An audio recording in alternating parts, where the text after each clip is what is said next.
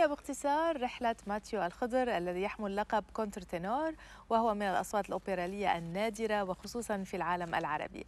ماتيو أو ماتيو يعزف أيضا على البيانو ويشارك في مهرجانات عربية وعالمية للموسيقى وذلك بهدف نقل تجربته بالغناء الأوبرالي. عن هذه المسيرة الفنية لماتيو الخضر مع الموسيقى والغناء نتابع هذا التقرير لساندرا سعد.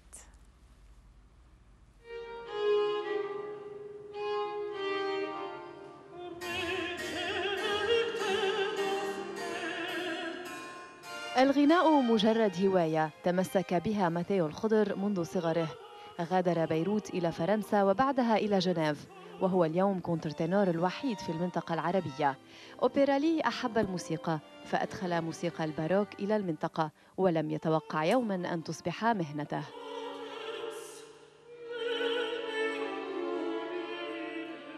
contre-ténor هي فئة صوتية كثير نادرة عند الرجال بتقلد مثل صوت النسوان. هي فئة صوتية بتشبه صوت ال mezzo soprano.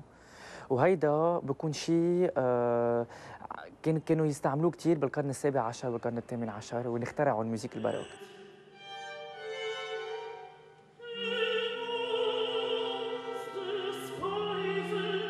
الموسيقى لإلي إنه كانت شغلة كنت كثير حبها هلأ صارت مهنة عندي. ما كنت متوقع ابدا إنه حتكون مهنتي بالحياة.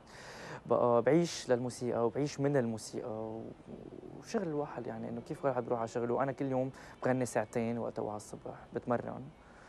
ونقلت على جنيف لأنه كمان المجالات هونيك بجنيف كثير منيحة ومديت كونترايات مع الاوبرايات هونيك بسويسرا. بقى ببرم كثير هلأ رايح باخر الشهر راجع على جنيف.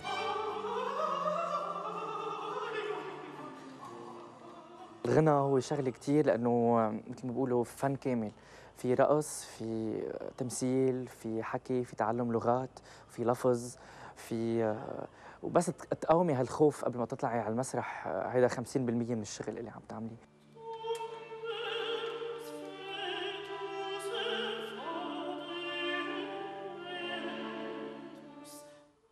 عملوا Les Noces de Figaro بالعربي. صارت صارت بروما إيه؟ Vissi d'arte vissi d'amore مثلا. بدهم يقولوا عشتوا من الحب وعشتوا بال عشتوا من الموسيقى وعشتوا من الحب عشتوا من الفن عشتوا من الحب. هلأ آخر مرة غنيت بقطر من جمعتين وهيدي أول مرة contre-ténor عربي بغني باوبرا دار الأوبرا قطر مع philharmonique من 92 عازف معي. بقى هذا الشيء عن جد فتح لي مثل ما بيقولوا بواب الشرق الأوسط.